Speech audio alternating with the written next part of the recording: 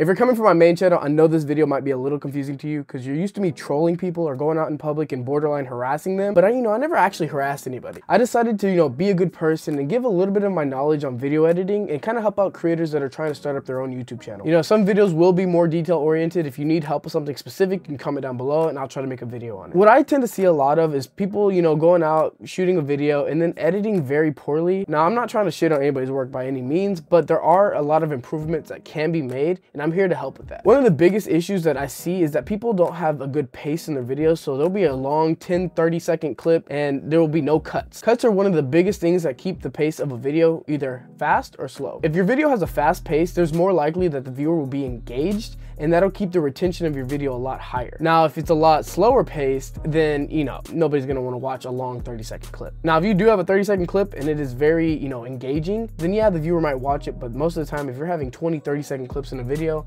that's a 10 minute video with nothing good happening. But yeah, at the end of the day, I'm a very unsuccessful YouTuber on my main channel, and I'm just trying to give advice that I think would help, you know, in, in, the long run. But yeah, let's go ahead and get right into it. So there is one main key component to video editing, and that's actually organization. I can get on to organization in a little bit, but I'm gonna show y'all what y'all need to use to organize your files. Now, what I use to organize my files are these two SSDs. These are the Samsung T5 and T7 SSDs. Now, I know a lot of y'all probably have those, you know, two terabyte, $60 hard drives, but let me tell you right now, those suck. The odds of those crashing are very high. Believe it or not, this is my very first portable hard drive, and I know y'all are probably like, why does it look like that? It's because it broke on me. I didn't really drop it or anything. It was always, you know, very taken care of in my backpack. But you know, one day I was trying to plug it into my computer, and for some reason, the port was just fucked up. It's one of those weird ass, like old Samsung phone charger ports, and I was just like, why the fuck is this even on a drive? Besides the ports being very poorly made on these, this is a mechanical hard drive. That means it has the moving parts. If you look inside, you're gonna hear a fan, you're gonna see stuff, hear stuff moving things like that can break. Now with the solid state drives, they have, you know, just a motherboard type thing. I don't honestly know the details of what's inside, but I just know there's no moving parts in a solid state drive. Now back to this drive right here, I did have about 600 gigabytes of footage on it at the time. So when it crashed on me, I was very, very, very disappointed. Now I was trying to find ways to recover everything on here and I looked up places online, called places and they're all like, yeah, it's gonna be about $400 to recover. And I was just like, this was a $60 drive, it's gonna cost $400?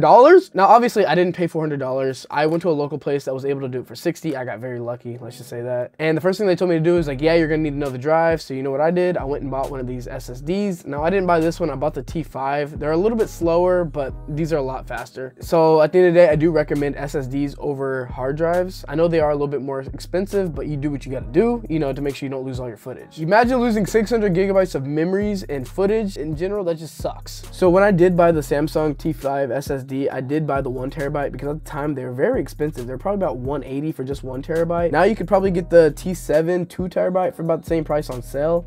And in my opinion, that's honestly a really good deal. So I do recommend these two drives. The Samsung T5 does have about 500 megabytes of transfer speed. And this one I believe is 1050 megabytes a second. It's pretty fast. This is fast enough for uh, 4K video editing. That's what I usually do for like my YouTube videos and stuff like that. And it works perfectly fine for me. This will probably be better for like, you know, just regular vlogs, you know, 1080 footage. Nothing too powerful, but it does get the job done. So when I do fill up one of these drives, I don't want to just, you know, throw the footage in the trash, you know, get rid of it because that's a lot of memories that you you could lose. And at the same time, if I do want to go back to a clip, I'm not going to have it if I delete it. So one Black Friday, I did buy this, I think it's a 16 terabyte drive. I do believe it is a 16 terabyte drive, but it was like 250 bucks, which isn't bad because you realize if you buy this for 250, it's 16 terabytes, and this itself used to be 250. So it's basically like 10 times nope that's not the right math but anyways there's a lot more storage than you know you would need i probably have about half of this filled up right now which you know believe it or not, is a lot of fucking footage. It's probably about eight terabytes filled right now. It's not the fastest thing in the world. I definitely don't recommend editing off of these because they are slow. And if you constantly, you know, use hard drives in general, even the portable ones, you're constantly wearing them out. After you get yourself a little SSD and maybe a hard drive tower, you know, like I do, or you can buy one of those small portable ones. It's up to you, but I definitely recommend something that, you know, can hold a lot for a long time. So let's get to the actual organization part. I know organization doesn't sound fun, but at the end of the day, it does help you out finding, you know, footage from way back when, or, you know, just keeping everything organized so you know where everything's at and not have to scramble looking for sources like audio clips or music and stuff like that. It's all gonna be together. I know I am teaching the file organization and my folder itself that I use for this, you know, my videos and all that is not the most organized, but it kind of gives you a good idea of how I have it set up. Let me put this in a list view for you. This is what I was talking about right here. This is where all my vlogs are. There are some, you know, vlog five, vlog five, because one was made before the other one, but this one was edited and this one wasn't. So just for this video, I'm gonna be showing you how to organize files from an old previous project, such as this one right here, where nothing's split up, you know, everything's out of order, everything's everywhere. So we're gonna go ahead and make a new folder. Now, in theory, this folder would be on your drive. It wouldn't be just on your desktop, but for this example, I'm just gonna show you how to do it. So the first thing you're gonna be doing is making a video folder. Now this is where you'll keep, you know, 1080 footage, 120 footage, whatever you shoot in, you can separate that inside, but I'm just gonna show you how to make the folder itself. So I'm gonna title this as, you know, uh, video. The next one you're gonna wanna make is, you know, if you have audio, so I'm just gonna say audio for like these videos right here. I have a mic audio right here, also have the camera audio, and I also have music or whatever. But if you do wanna add music, you can just add a music folder itself. I believe I did use a song in that folder anyways. So the last thing I usually make is a sources folder. So this will contain like, you know, pictures or whatever stuff, like auxiliary stuff that I'm not gonna really care to organize, but it will be there in that one folder if I need to find it. So I'll make the sources folder. Let's go ahead and start with the video folder first, since it is the main part of, you know, a video. So we're gonna go down since I have all the footage right there selected. Usually this will be drug right off your SD card, but you know, for this example, I'm gonna be, you know, pulling it from the folder itself. Now it's just gonna copy everything over. It's not gonna, you know, steal anything. So once you're done putting all your video files into your video folder, you wanna go ahead and grab, you know, your audio, but I don't have any audio specifically for this video. So we're just gonna ignore that folder for now. Next, we can go into the music folder. So this folder will contain the music that I used for the video, which I do believe it was, you know, one or both of these songs. I really don't remember. So we'll put both songs into that one folder. You know, next we can go to our sources folder. So this is where I'll keep, you know, like I said, pictures or extra footage or, you know, like this, for this video, I had a, I believe this is an Astros game video. So I went ahead and just put that in my sources folder because it's not my actual main footage, but it is a source. Now the rest would be like these JPEG files, which are straight from the editing software that I use. Again, this is another auxiliary folder. So this one too, I believe. oh, that's my girlfriend. Yeah, look at her. She's so beautiful. Okay, so now I think I got all the extra footage, uh, you know, the sources that I need. Oh, forgot one that I need in this file. So now I do have all my sources and videos all separated out. But what I usually like to do is make a folder for social media. So if I do like export the videos, I'll make a social media folder. That's where, you know, all the videos that I chop up from my main video will go into. Also, at the end of the day, you know, if this doesn't work out for you, take out a couple, add a couple folders, you know, it's all up to you at the end of the day. This is just how I do it and how I prefer to have my stuff separated. Okay, so now we're gonna talk about softwares. There's three main softwares out there, a fourth one now coming up, which y'all might know as CapCut, but I don't really use that CapCut shit because I use real video editing softwares.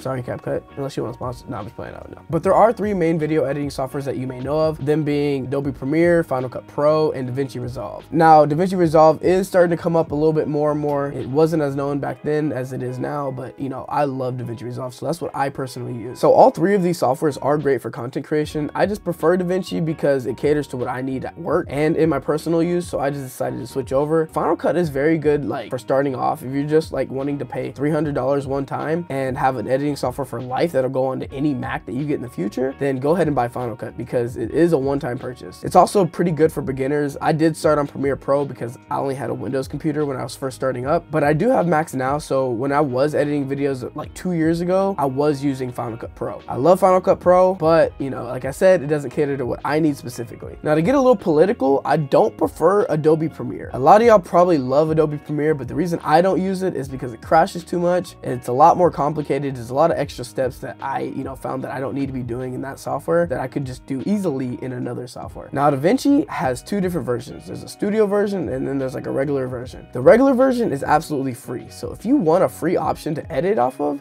use DaVinci because why not? It's free. There is a $300 paywall for the studio version, but uh, I got the work, so I don't have to worry about it. If y'all want to buy DaVinci for $300, one-time purchase, you, literally it's all you need. Now, a lot of y'all do know Premiere Pro has a paywall monthly, which kind of sucks. I think for students, it'll be about $21 a month. And then if you're not a student, it'll be like $55 a month. So something stupid, but that's like for the whole suite, which I do recommend if you're going to be doing YouTube because you could use Photoshop, Illustrator, all that to make thumbnails. Uh, you could use Adobe Audition, which is what I'm using to record audio on this mic, which you're not not even gonna probably hear. At the same time, it's always good to have the whole suite. Now I do pay for Adobe Premiere Suite as well, because I am a student, but after a year of being a student, it does start charging you $30 a month, which isn't as bad as paying 55, but still is very stupid. But if you're like me and you like using Macs, I'm gonna give you a little bit secret sauce. You didn't hear this from me, but if you do go to Apple education pricings year round, you could get a little discount on your uh, MacBook or whatever. And I've heard through the grapevine that they don't even check for verification. So you could just, you know, get that MacBook for a discount if you wanted to.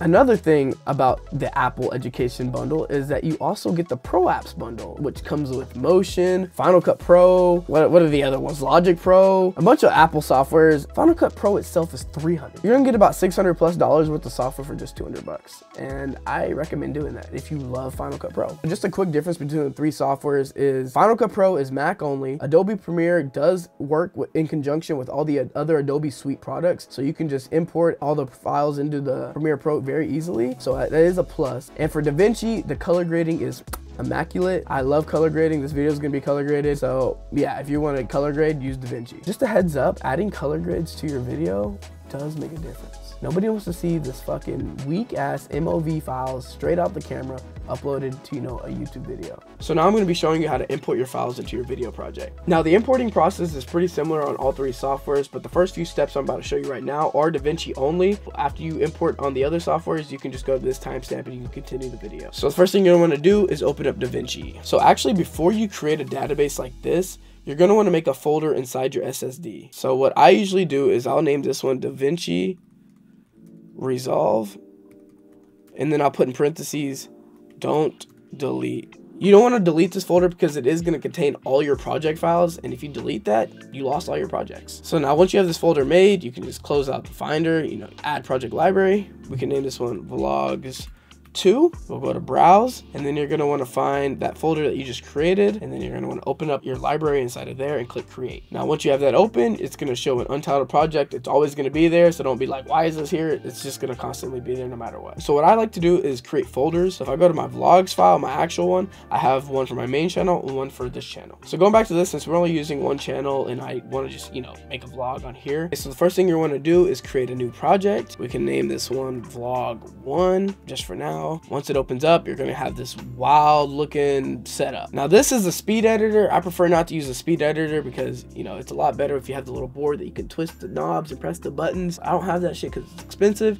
So I'm just gonna go to the edit page. There are uh, seven different pages. This is gonna be the media pool, which I don't really use to import, but you can if you want to. You just kind of click and drag your files into here. This is the speed page. You know, you can quickly edit, just cuts, nothing crazy. Uh, this is the editing page. Is where all my magic happens. Then there's a Fusion page, which if you're familiar with After Effects, this is a pretty similar uh, software, just node based rather than layer based. Then we get to the beautiful color page. I love this page. It helps out a lot, makes the videos pop a lot more, just sexy. Next we have the Fairlight tab, which is uh, basically the audio editing part of things. If you want to like tweak your audio, your EQ, this and that. I don't know much about audio. It's basically in all in one software. You're basically getting the entire Adobe suite into one software, but not Adobe. And then last is where the magic exports. This is going to be the export page. You know, you set your settings and then you can export your video from here. Let's go back to the edit page. The first thing you want to do is set up your timeline settings. I personally use a 3840 by 1920, which gives you a two, two by one ratio, and it fills up the entire phone screen from the notch all the way almost to the bottom of the phone. If you look at your iPhone right now, and if it's an iPhone 10 and up, you'll see exactly what I mean. If not, it's gonna be a normal 16 by 9, and I'll show you what that also looks like right now. It kind of looks boring. So once you put in your timeline resolution, you can put your frame rate as, I usually put it at 24, 23, 976, uh, and then it'll do that for your playback. Again, you don't have to use this. If you don't like it, you can just select any of these presets, or you can just do 1920 by 1080, which is a normal standard YouTube video. I don't usually mess with any of this because it's a little uh, too, you know, big for my britches. I don't understand any of this shit down here. So I just click save. Yep, change can't undo it. And I'm telling y'all, I'm not a professional, but I'm a professional. I do it professionally, but I don't know what the fuck I'm doing at the same time. I'm just trying to give y'all my advice from what I've learned through the past four or five years of editing. So now that we do have our timeline set, we can import our footage. So the first thing you want to do is go to file, and then we'll go down to import, and then go to media. Now there are two ways that I usually do this, and this is not the way I normally do it, but I'll show y'all this way just in case. So once you have your folder selected, um, I just happen to have it on this folder because that's the one I want to use as the example. I select all the footage I want, and then click open. Don't don't change frame rate, and now all your footage will appear here. Now you can look at it as a list view, or you can go down to an icon view, which I typically prefer so I can see the footage right there in front of me. Now, if I was using something with names and I have everything laid out, you can go to a metadata view and it'll show you usually the, uh, the file name, and then it'll show you like how long it is if you use timecode, this and that, whatever. So now all this footage is shot in S-Log, so it does kind of look kind of weird, but you know, at the end of the day, color grading is key, and then you know, you fix it from there. Now that is the one way to do it, but there also is a better way to do it. And I personally love this way because it's just so much easier. So first thing you want to do is go to your files, locate the folder. It's to be right here. So I'll select all of these and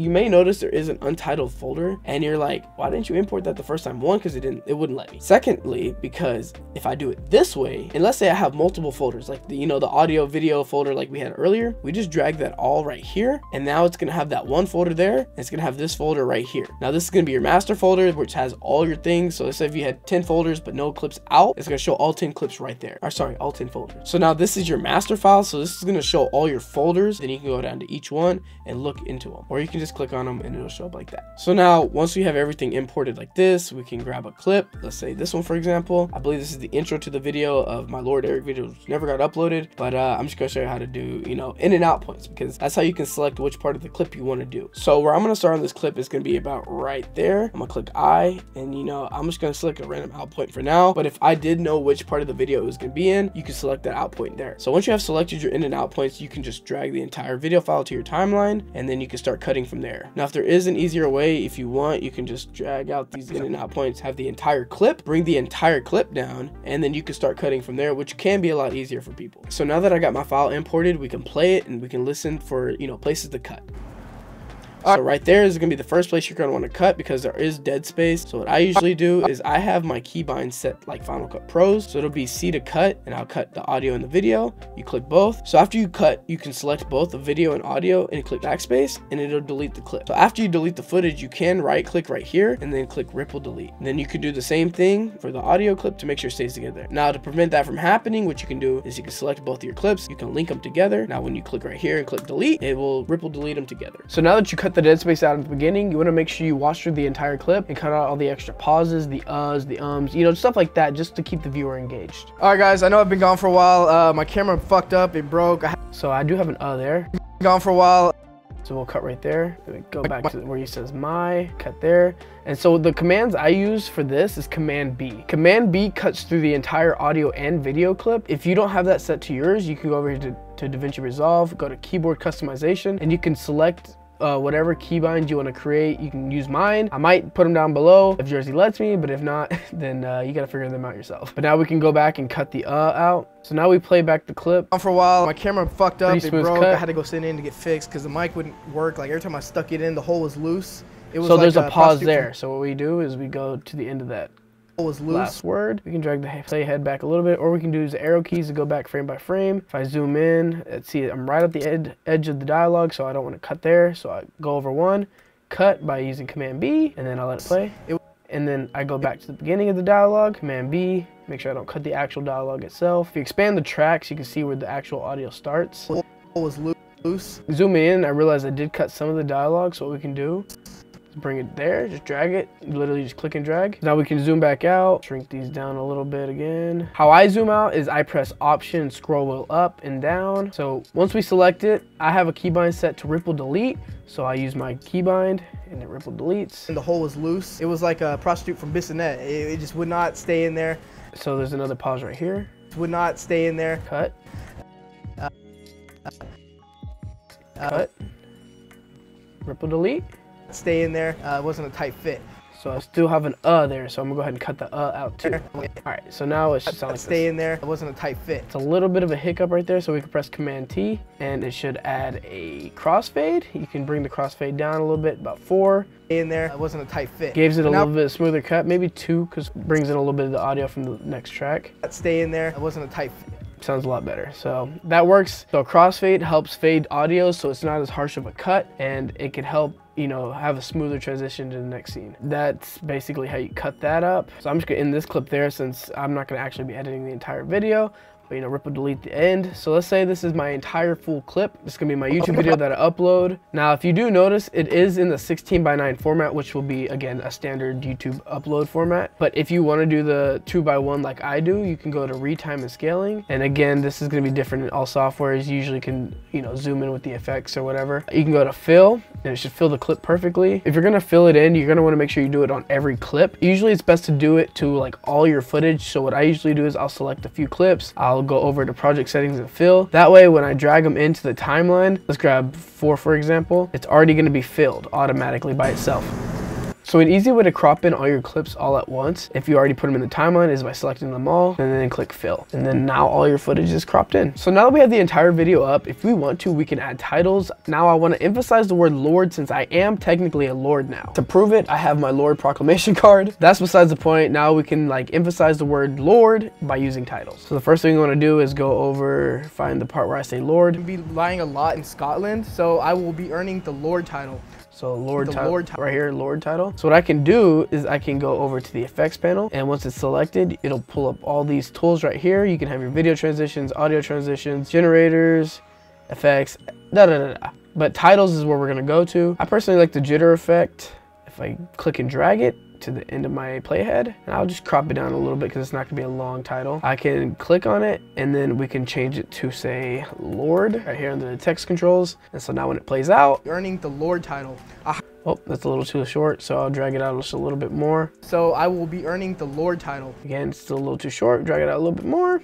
So I will be earning the Lord title. Ah. That looks fine, we can place it where we want so to. I will be earning the Lord title. A Perfect, Lord title cut it right there. And then uh, now we have a title. Some titles don't do that effect, some do. I just, you know, that's what this one does. So now we go over to the settings and then we can go to, we can zoom in the text if we want to be a little bit bigger. And then we can position it a little bit left if we want to, which I don't see why. Maybe at a little bit of an angle. Now let's say we, I want to use the same title the same way it's set up now. All I have to do is click option and drag and then it'll make another title and it'll say the same thing. Now I can change the word to say, you know, say I wanted to say Eric and I say I want to bring it to the end of that one, so now it'll say. Be earning the Lord title. I hired a, a realtor to be here. Any now you can place this anywhere you want. You can tweak it if you want. It won't affect the previous one made. Uh, everything will just look beautiful. Let's just say that's the end of my video. I did my outro. You know, I have little effects, whatever at the end. I'll probably make videos on that in the future if y'all want to see that. Now, if you do feel like I am going a little bit fast, if you comment down below, I can try to explain it in better detail. Or if you want to learn something more, I can get into that in another video. But now we're going to want to export the video. So we can go down to our little export tab and then we want to title the video. I like to title the video what I'm gonna like actually title it on YouTube. So when I upload it, I don't have to worry about retitling the video. So let's just say this is gonna be Lord Eric example. So we can, you know, click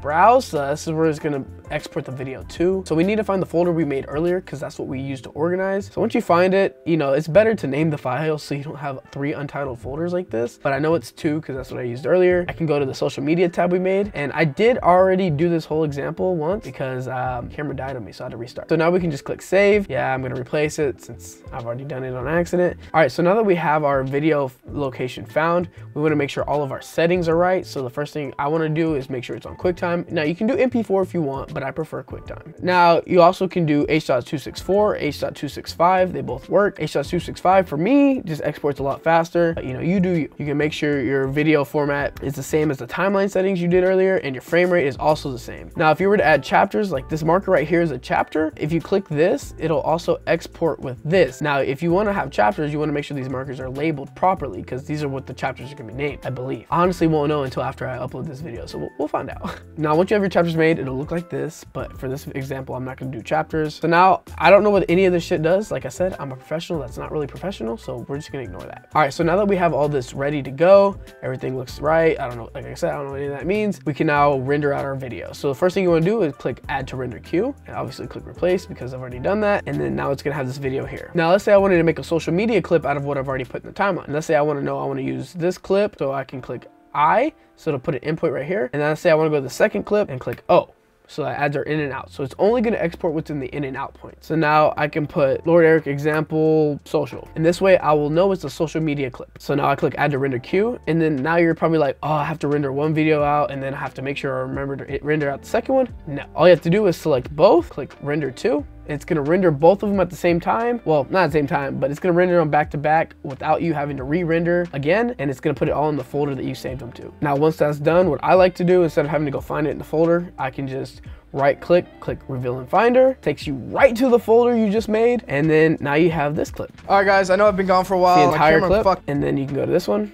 It was like a good, we can record, it's the second clip I made, and then boom, that's all you gotta do. Now, both of your videos are ready to be uploaded to YouTube. You should know how to do that already. I can't help you with everything. Actually, I can if you want, you know, want me to help you with something, again, comment down below. But yeah, that's all that there is to it. If you want, you can go make your damn public interviews that nobody's gonna watch. As long as they're not kiss or grab videos or, you know, kiss or slap, I'm okay with it. You do those public interviews that inform people. But if it's that bullshit, I don't wanna see it. But yeah, if there's any video editing tips or tricks you wanna learn, comment down below. I can either answer them in a comment or I can try to make a video or a reel or something like that just to explain it to you and uh, get you that content out as soon as I can. But yeah, make sure y'all go follow my personal and my business Instagram down below. If y'all want to see my portfolio, my gondola is down below too. I know gondola probably sounds weird, but it, trust me, it's cool. But yeah, I hope this video helped you get a better grasp of how to edit a video. And if not, I'll just go fuck myself.